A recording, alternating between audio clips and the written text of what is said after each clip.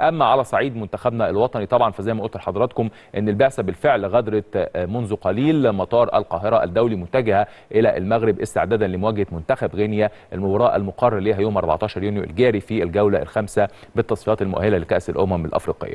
طبعا كالعادة زميلنا محمد طه اللي كان ليه تغطية رائعة امبارح بالأمس الحقيقة وقبلها بأيام مع بعثة النادي الأهلي هيستمر هناك في المغرب. معلش هتطول شوية يا طه لكن كالعادة بنعرف منك كل الأخبار وكل التفاصيل وأكيد الوضع الآن يختلف. عايز أعرف منك الأول ردود الأفعال والأصداء بعد انتصار النادي الأهلي وعلى الجانب الآخر استعدادات استقبال بعثة منتخب مصر. برحب بيك واتفضل طبعا يا طه.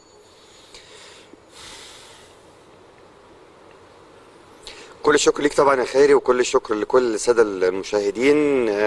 يعني نتمنى طبعا زي ما أنت بتقول نكون نقلنا كل الصورة اللي يتمناها. مشاهدي شبكة قنوات ON Time Sports إحنا موجودين عشان نوفر ليهم كل ما يخص كل كواليس الفرق الرياضية سواء بالنسبة للنادي الأهلي اللي توج بالأمس بالأميرة الأفريقية أو فيما هو قادم بالنسبة لمنتخبنا الوطني اللي بنتمنى له طبعا التوفيق في النقطة الباقيه له أو الفوز كمان إن شاء الله ليتأهل إلى كأس الأمم الأفريقية. يعني خلينا نتكلم الأول عن أصداء مباراة الأمس بعد نهاية المباراة. يعني بعد الهدف كمان حالة صمت شديد جدا لكل جماهير نادي الوداد بعد الهدف طبعا والأمور كلها تغيرت تماما. يعني خليني أقول لك الشارع نفسه في كازابلانكا بعد ما كان يعني كله جماهير وكله أصوات الهتافات والغناء بالنسبة لكل ما يخص نادي الوداد بعد المباراة أصبح صامت تماما. وحالة حزن كبيرة جدا وعلى فكرة ملفتة جدا للنظر حتى النهاردة الصبح وإحنا بنتحرك من كازابلانكا علشان نتوجه لمراكش. شفنا ناس كلها النهاردة حتى وهي رايحة شغلها النهاردة يعتبر أول يوم عمل لأنه امبارح كان أجازة. كل الناس زعلانة فاتكلمنا معاهم. يعني الناس بتعشق كرة القدم لدرجة كبيرة جدا فحزن شديد جدا جدا واضح على كل الناس. وصمت تام محدش بيتكلم مع حد حزن شديد. يعني وده واضح من حبهم وعشقهم لكرة القدم وأكيد ده كان مترجم من خلال الشكل الجماهيري أو الطريقة اللي بيشجعوا بيها في الملاعب وده شفناه امبارح من خلال الشكل الجمالي. يعني إذا كان في بعض طبعا المبالغة في الألعاب النارية لكن بشكل عام هم شايفين إن هي حب وشغف لكرة القدم في التشجيع وعشق لدرجات مجنونة. فبالتالي كان الصدى مؤثر وواضح جدا تلحظوا في الشارع في صمت تام عن أي يوم سابق قبل المباراة. حتى الناس كلها قالت لو كان الوداد كسب كانت ال ال الناس في الشوارع مش هتروح ليومين في الشارع كمان مش بس للصبح. فبالتالي طبعا كرة القدم هي شغف الجميع وعشق للجميع ولكن هذه هي حالتها يوم فائز ويوم خاسر. ده بالنسبة لأصداء مباراة الأهلي بالأمس. يمكن آآ آآ النهارده طبعا منتخبنا الوطني بعد تقريبا ساعة ونص من دلوقتي هيصل إلى مطار مراكش. المطار يعني بيبعد عن فندق الإقامة هنا تقريبا 10 دقائق المسافة قريبة.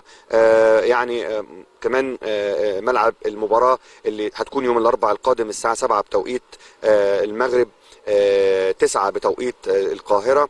الملعب بيبعد تقريبا حوالي 20 دقيقة عن مقر الإقامة. مقر الإقامة ممتاز جدا جدا جدا وفي كل شيء متوفر. وطبعا الجهاز الإداري لمنتخبنا الوطني كان موجود هنا قبل يعني وصول المنتخب. كان في ممثل المنتخب علي كان موجود هنا بقاله يومين بيحضر كل الترتيبات. وطبعا طبعا بيساعده مينا واستاذ شعبان بسطاوي كل الجهاز الإداري كان بيحضر كل شيء عشان يصل للمنتخب والأمور كلها تكون مرتبة له بشكل ممتاز جدا. في دور مفصول تماما للمنتخب في قاعة محاضرات في قاعة مطعم وطبعا الدور كله مجهز للمنتخب عشان يبقى مفصول عن النزلاء الموجودين في الفندق بالنسبة لمنتخبنا الوطني. درجة الحرارة هنا في مراكش مختلفة شوية عن كازابلانكا يمكن أعلى شوية درجات الحرارة. كازابلانكا كنا مثلا بنتكلم في 24 25 أو 26 وبالليل بتنزل ل 20 لكن هنا درجة الحرارة تبدأ بس من 34 وده لسه أول يوم فلسه طبعا هنشوف الأيام الباقية الأمور هتبقى ماشية إزاي بالنسبة للمناخ خلال الثلاث أيام اللي جاية. بالنسبة لمنتخب غينيا هو وصل بقاله خمس أيام معسكر هنا آه، في آه، مراكش وبيتدرب في شباب المحمدية واخد الملعب آه، في عامل فيه معسكر بقاله خمس أيام. انضم لهم نبي كيتا اللي كان يعني متأخر عن آه، البعثة نظرا لإتمام تعاقده الجديد وانضم آه، آه، أول أمس وبالتالي أصبح خلاص غينيا مكتملة آه، الصفوف عشان تلاقي منتخب طه ماذا عن لاعبي النادي. الأهلي بعد ماذا عن لاعبي النادي الأهلي بعد النهائي. طبعا معسكر النادي الأهلي الأجواء كلها سامعني ممتازة طبعا أكيد النهارده إحنا لسه واصلين لكن أكيد هنستطلع الشارع ال- في مراكش وطبعا هنشوف الأمور كيف تسير بالنسبة للمنتخب الوطني وهذه المباراة وترتيباتها وكل ما يخصها. أكيد هننقلها طبعا من خلالكم آه، على شاشة ON Time Sport لكل مشاهدينا.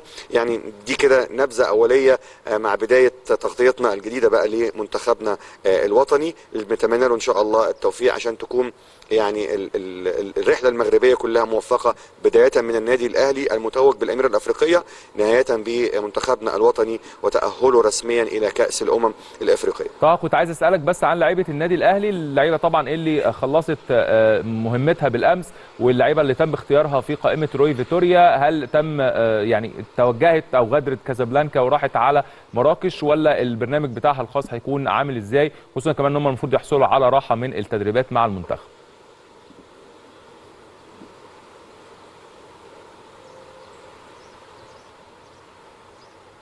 طه أنت سامعني؟